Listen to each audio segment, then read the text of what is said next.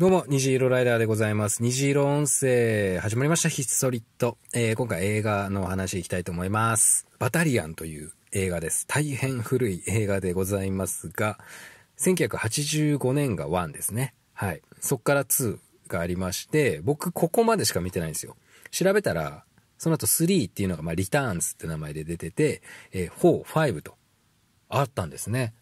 で、2006年が一番最後と。まあ、結構長くやってたんだなという感じなんですが、僕はちょっと1と2しか見てないので、あれなんですけど、まあ、とても子供でした。で、子供心に結構面白かったっていう印象があるので、今回喋ろうかなと思います。まあ、バタリアン。えっ、と、一応ゾンビ映画、ホラー映画のくくりではあるんだけど、コメディ要素ありなんですね。で、もともと、あの、ナイト・オブ・ザ・リビング・デッドっていう映画があって、それのオマージュ。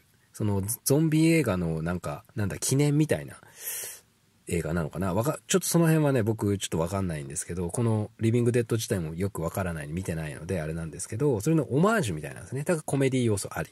で、あの、確かね、脳みそをね、食べ、食べてたような気がするんだよ。それ、あの、バタリアンもいっぱい種類いて、その、一人だけだったのかもしれないけど、とりあえずなんかガスみたいな、ゾンビ化しちゃうガスが噴出して、えー、それでいろんな人がゾンビになっちゃうみたいな。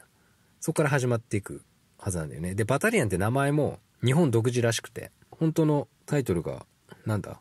知らん。えっ、ー、と、英語で大軍という意味らしいんですけど、そういう風に付けられたらしいです。で、ちなみに、えっ、ー、と、まあ、ワン、ツーで、リターンズは日本劇場では未公開。だから俺知らないよね。まあ、4と5は多分公開されてはいるんだけども、マニアック映画的な感じで扱いされたのかな。しかも、あの、チェルノブイリで撮影されたらしいです。4と5に関してはね。はい。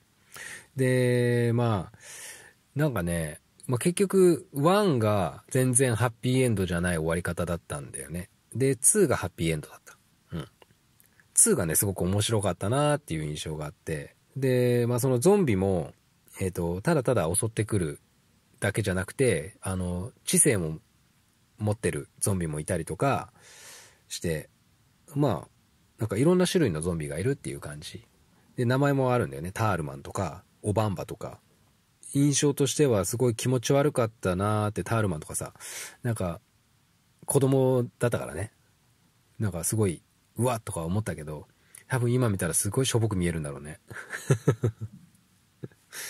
まあ、見ることはないと思いますけども、バタリアンね、あのー、そこから、オバタリアンっていう言葉が流行語みたいになったはずなんです確かバタリアンが発祥だったと思うんですが、うん。そんぐらいこう、社会的にこう影響を及ぼした、えー、映画ではあったかなと思います。はい。以上です。特に思い入れなし。まあ面白かったなって。